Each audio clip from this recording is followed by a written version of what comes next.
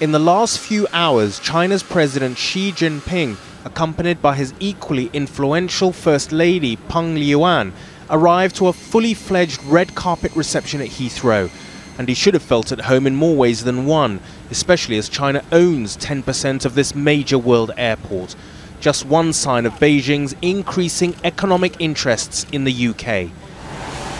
But he arrived just as China's burgeoning production of cheap steel was bringing yet more bad news for Britain's shrinking steel companies.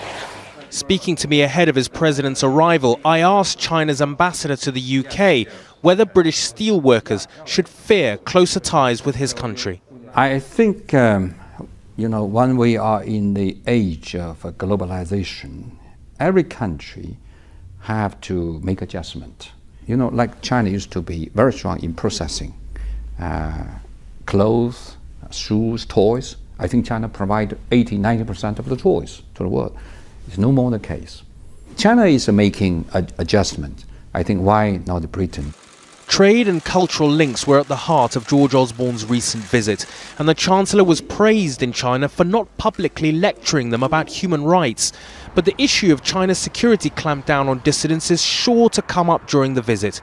I asked the ambassador how China would react. Some Westerners, politicians, media people, they only focus on some individual cases, but they miss the big picture.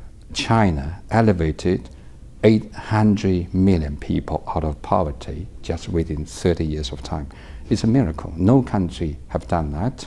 I think Chinese people living longer, living happier, and they enjoy their life. I think that's a basic right for human. But these cases will continue to be raised. So my, my question is, can China have a strong economic relations with a country which is at the same time criticizing its human rights record? I think people in UK will care more about their jobs, about their better life, about their education. That's same true for the people in China. So the government leaders have to find a common ground, how we can work together for common good.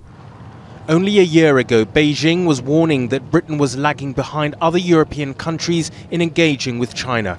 The next four days of deal making and diplomacy will show how things have changed.